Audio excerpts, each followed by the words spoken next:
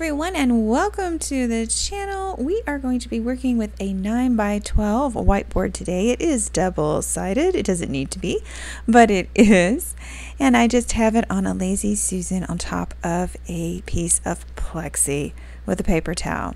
Now what we're going to be using today are these. These are makeup brushes, but they're made out of silicone. I'll put a link below if you're interested in using these makeup brushes. You may never have seen them. You're used to the traditional brush with the actual brush.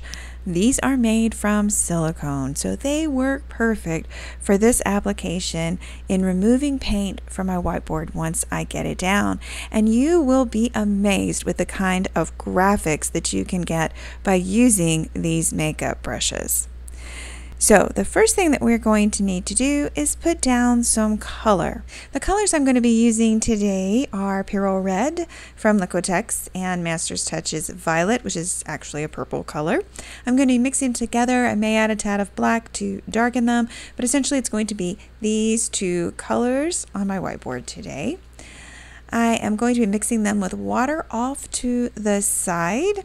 You can also use your pour paint for this. Here are two from Master's Touch that are pre-mixed in similar colors. If you have pour paint handy, you can indeed use this. You will need less water. I am going to keep a water bottle handy. That's what this is right here. If you see me spraying it, I'm going to spray my board liberally, but there is a happy medium to getting too much water and having just enough water. So you have to be really careful or your design will actually fall apart. You can't have it too wet. I'm also using a one inch soft bristle brush to apply my paint to the board, but I will not be using it to make my design because I'm going to be using my silicone brushes for that today. I'm going to show you how that's done.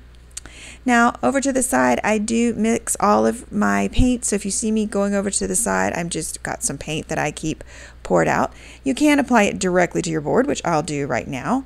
Uh, this is my Pyrrole Red, and then I'm just going to put some over there. So if I need a little bit more, or uh, if I need to mix my colors, then it's over there and ready. I'm also going to put my violet down, or my purple.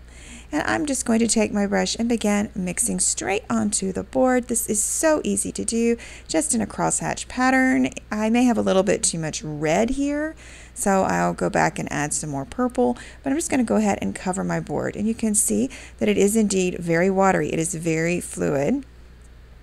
So if you're using fluid paint, you probably will not need much water for this. Uh, you may need a little bit, it just depends on how thick your pour paint is. I think I'm going to go ahead and just darken this up a little bit. Just do it really quickly. I'm mixing straight onto my board. I don't want to bore you to death, so I fast forwarded a little bit so that you don't have to uh, to watch me mix this color on the board. But here we are. Here's the color that I thought I was going to have. Now, sometimes in the process, if your paint sits too long, you will need to reactivate it with water. And that is why I keep my water bottle handy. So I'm going to go ahead and spritz this a little bit just to make sure I have enough water on my board. And then I can begin working with my brush. And you're going to see how this works. This is going to be kind of my warm up design. I'm using a very flat brush here completely made out of silicone and I am just going to use my Lazy Susan and go around in a circle removing the paint. In this kind of painting, you are removing paint. You are not painting on, but removing. So that is why your background is so important. And also the consistency of your background paint is so important. So I'm just going right around in a circle. You can see how my brush is working. So this is the kind of look you're going to get if you go around in a circle. I'm just going to keep going around. Okay, this is nice. I like that.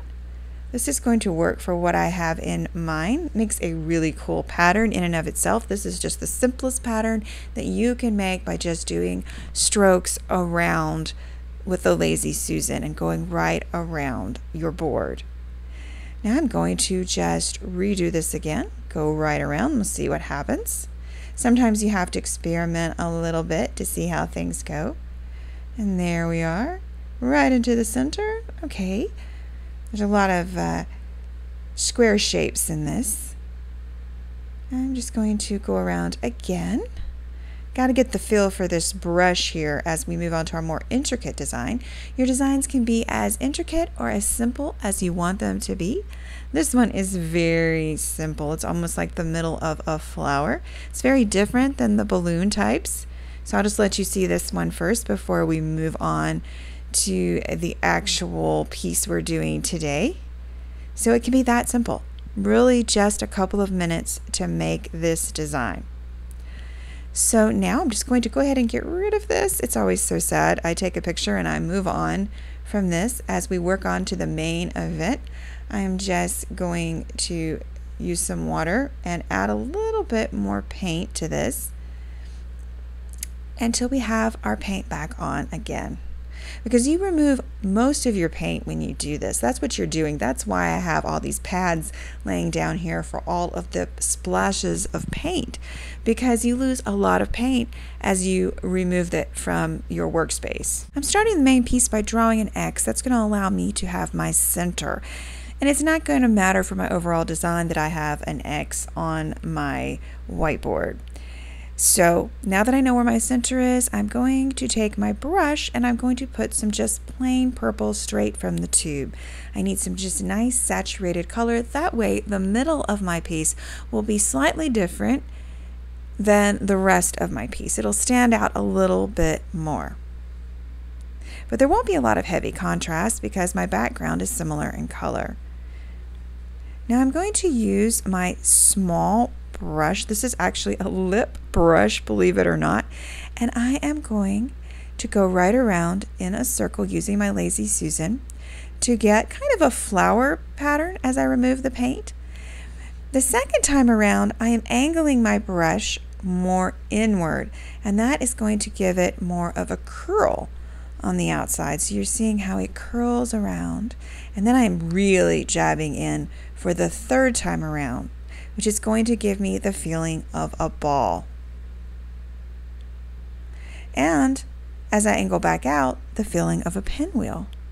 So this is what you end up getting. Now I'm going to take my wide brush. You can see which one I'm using. I think it's a blush brush.